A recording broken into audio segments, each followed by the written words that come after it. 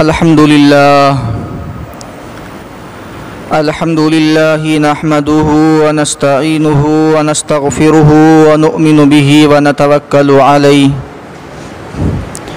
ونعوذ بالله من شرور أنفسنا ومن سيئات أعمالنا من يهده الله فلا مضل له، ومن يضلله فلا هادي له.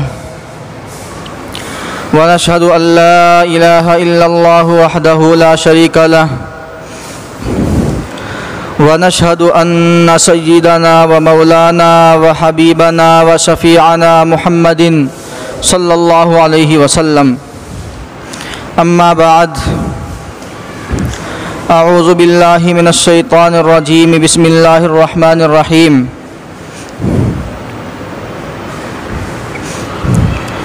والفجر وليال عشر والشفع والوتر. صدق الله العظيم. وقال النبي صلى الله عليه وسلم من وجد سعة ولم يزحي فلا يقربن مصلانا أو كما قال عليه الصلاة والسلام اللهم صل على سيدنا ومولانا محمد وعلى آل سيدنا محمد وبارك وسلم اللهم صل على سيدنا محمد وعلى آل سيدنا محمد وبارك وسلم سبحان ربك رب العزة عما يصفون وسلام على المرسلين والحمد لله رب العالمين محترم بزرگوں اور دوستو اللہ رب العزت ہمارے بھی رب ہیں اور ساری کائنات کے رب ہیں۔ اللہ خالق ہے اور اللہ رب العزت کے علاوہ جتنی بھی کائنات کے اندر پائی جانے والی چیزیں ہیں، وہ سب کی سب اللہ کی مخلوق ہیں۔ اللہ رب العزت ہم سب کے مالک ہیں اور کائنات کی تمام چیزیں اللہ کی مملوک ہیں۔ اللہ رب العزت ہمارے آقا ہے۔ اور کائنات کی تمام چیزیں اللہ کی غلام ہیں۔ اس لیے اللہ رب العزت کو حق ہے اس بات کا کہ کسی کو اللہ رب العزت افضل قرار دے۔ کسی کو اللہ رب العزت فضیلت عطا فرما دے اور کسی کو نہ عطا فرمائے۔ کسی چیز کو اللہ رب العزت عظمت بخش دے اور کسی کو نہ بخشے، یہ اللہ رب العزت کو اختیار ہے۔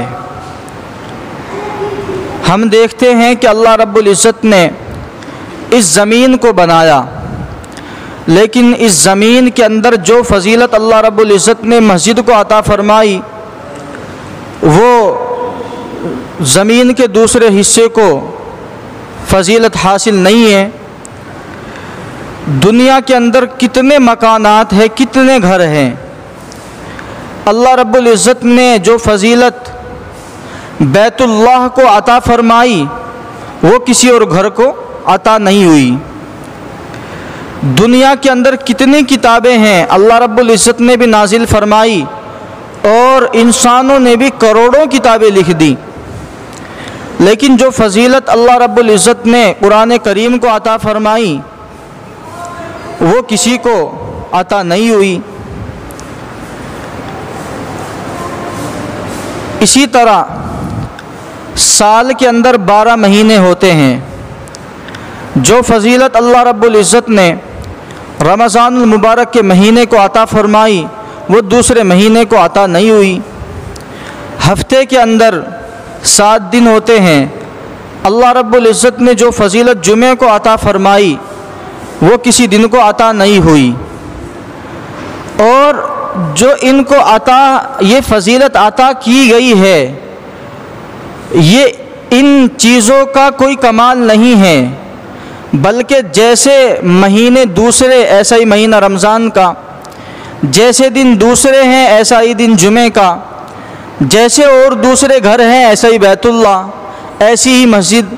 لیکن اللہ رب العزت نے جب ان کو فضیلت عطا فرما دی تو ان کی فضیلت کا کوئی انکار نہیں کر سکتا۔ میرے محترم بزرگوں اور دوستوں، اللہ رب العزت نے بارہ مہینے عطا فرمائے۔ اور سب سے پہلا مہینہ اسلامی اعتبار سے محرم الحرام کا مہینہ ہے۔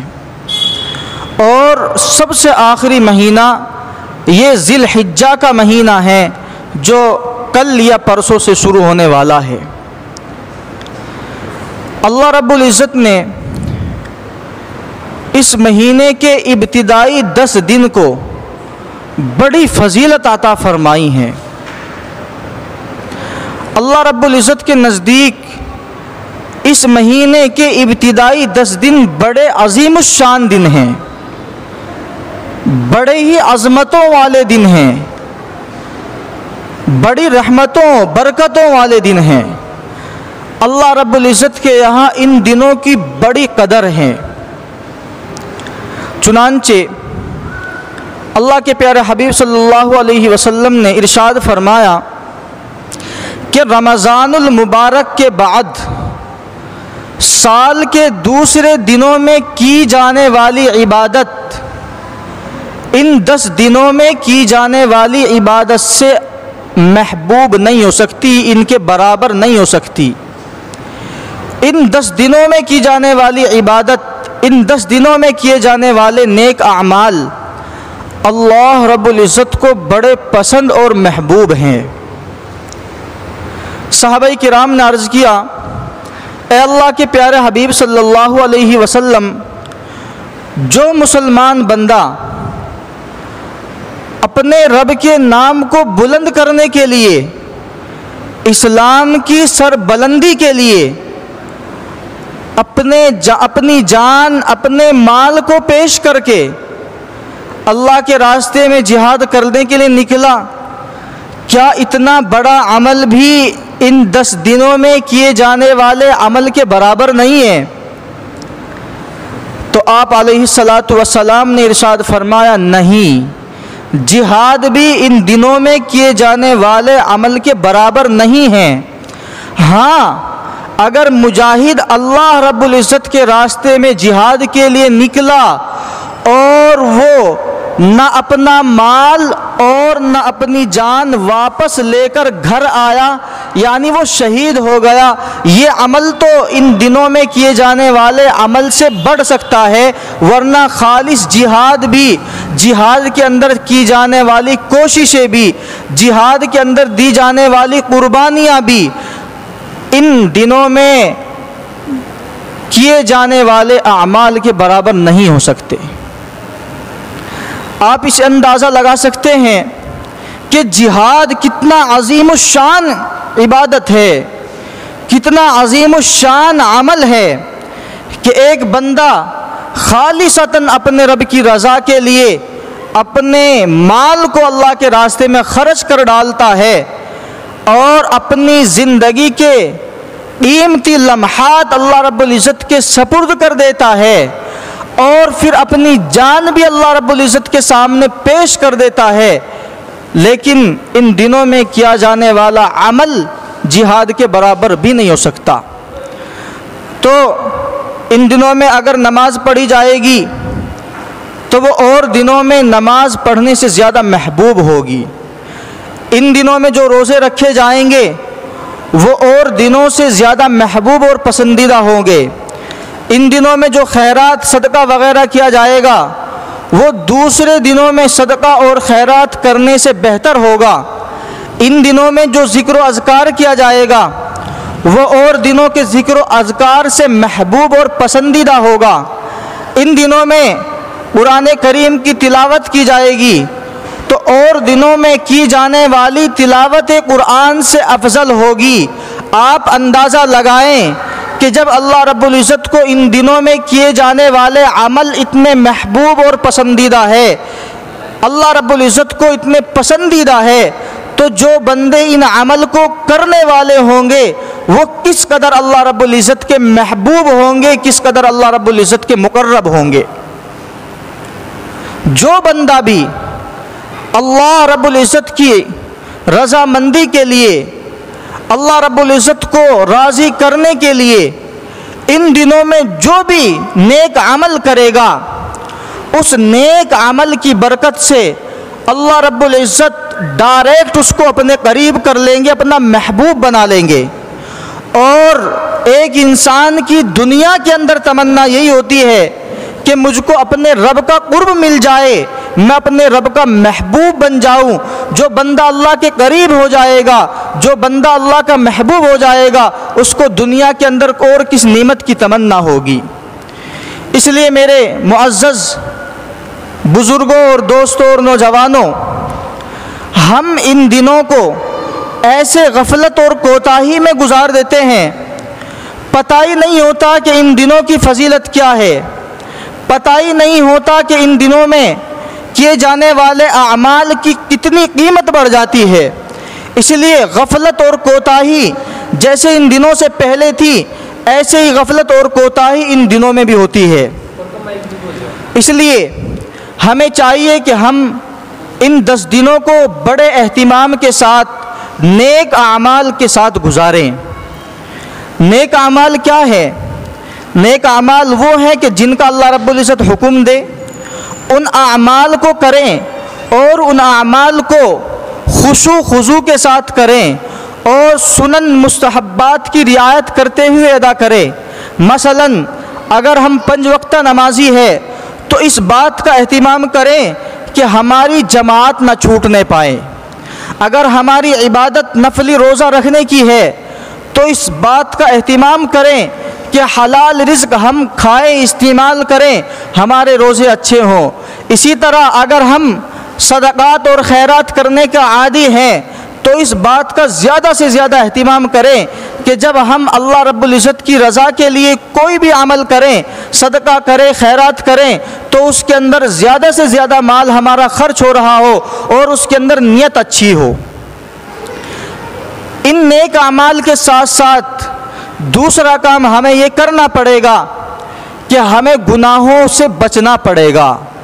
اگر ہم نیک اعمال کر رہے ہیں، جماعت کے ساتھ نماز کی پابندی ہے، روزے بھی رکھ رہے ہیں صدقات، خیرات بھی کر رہے ہیں، لیکن اس کے ساتھ ساتھ گانا سننے کی عادت ہماری نہیں چھوٹ رہی ہے، اور فلمیں دیکھنے کی عادت ہماری نہیں چھوٹ رہی ہے، غیبت کرنے کی عادت نہیں چھوٹ رہی ہے، چغل خوری کرنے کی عادت نہیں چھوٹ رہی ہے، جھوٹ بولنے کی عادت نہیں چھوٹ رہی ہے، تو ان اعمال کا پھر کوئی فائدہ نہیں۔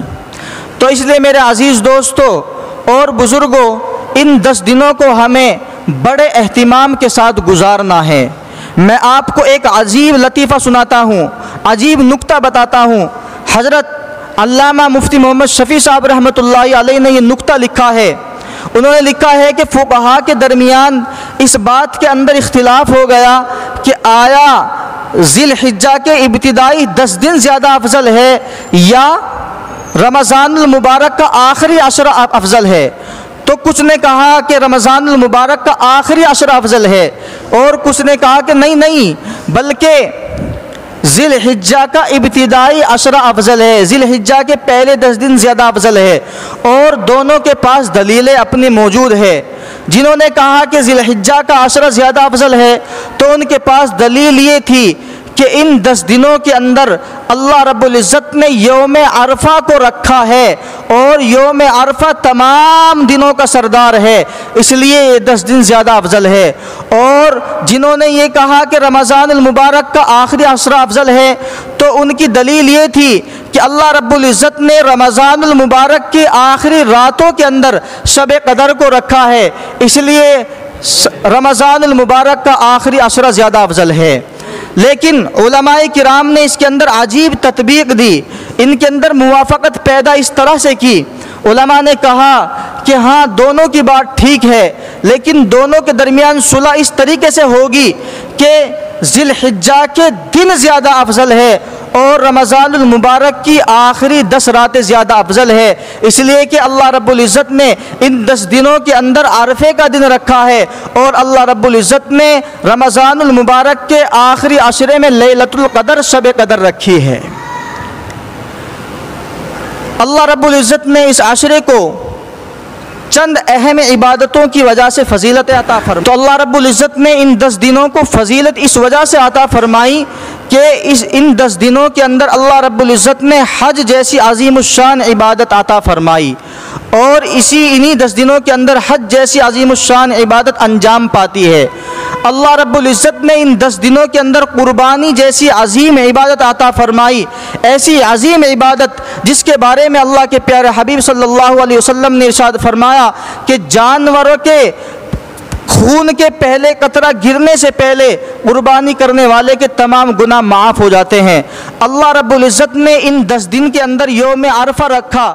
یہ وہ دن ہے کہ جس دن اللہ رب العزت نے مذہب اسلام کو مکمل کیا، مذہب اسلام کی، مذہب اسلام جیسی عظیم نعمت ہم کو عطا فرما کے اللہ رب العزت نے ارشاد فرمایا، رضیتو وَأَتْمَمْتُ عَلَيْكُمْ نِعْمَتِي وَرَضِيتُ لَكُمُ الْإِسْلَامَ دِينًا کہ میں نے تمہارے اوپر مذہب اسلام جیسی عظیم نعمت مکمل فرما دی اور میں تمہارے لیے مذہب اسلام کو دے کر راضی ہو گیا۔